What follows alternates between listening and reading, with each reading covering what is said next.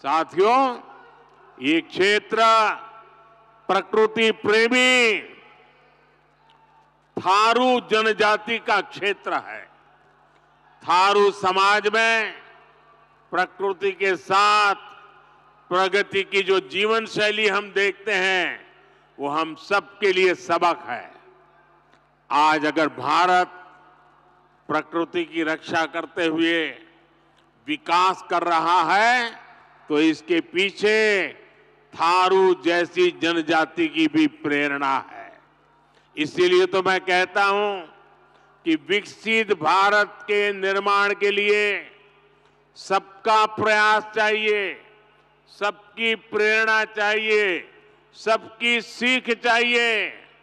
लेकिन इसके लिए एनडीए सरकार का 400 पार होना उतना ही आज ज़रूरी है।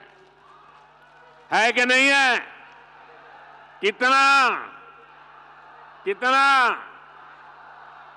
देश को तीसरी सबसे बड़ी अर्थव्यवस्था बनाने के लिए एनडीए एनडीए गरीबी से लोगों को बाहर निकालने के लिए एनडीए एनडीए युवाओं को रोज़गार के नए अवसर देने के लिए, एनडीए गरीबों को पक्के घर देने के लिए, एनडीए एक करोड़ घरों में सोलर पैनल लगाने के लिए, एनडीए तीन करोड़ लखपति दीदी बनाने के लिए, एनडीए देश के कोने कोने में वंदे भारत ट्रेन चलाने के लिए,